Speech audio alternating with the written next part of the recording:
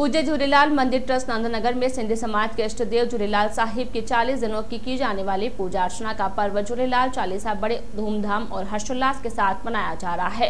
झूलेलाल मंदिर के प्रमुख सेवादार हरीश मलकानी ने बताया कि मंगलवार सुबह नंदनगर मंदिर से झूलेलाल संकीर्तन प्रभात फेरी निकाली गई, जो मंदिर से होकर पंजाबी जीन तथा शास्त्री नगर पहुँची। यहाँ पर प्रीतम जयसवानी, लक्ष्मण दास हरवानी, दयाल गुरनानी, रमेश सावलानी तथा महेंद्र लोकवानी ने जूरीलाल प्रभात फेरी का पुष्प वर्षा कर तथा झंडा साहिब का माला पहनाकर स्वागत किया। उसके पश्चात मोहन मलकानी, हरीश मलकानी, दयाल सदनानी तथा विजय गुलाबानी ने जुलेलाल के पंचरे गाकर जुलेलाल की जोत प्रज्वलित की। इस दौरान जोत जागे, मेलो लगे, उदेरो लाल साहिब जो मेलो लगे, बहरनो घर में झूलन को जो राखिया मुहिर जी गुर अथम जुलेलाल तथा खाटू श्याम बाबा का भजन गाकर सभी श्रद्धालुओं ने भावीपूर्ण होकर नृत्य किया।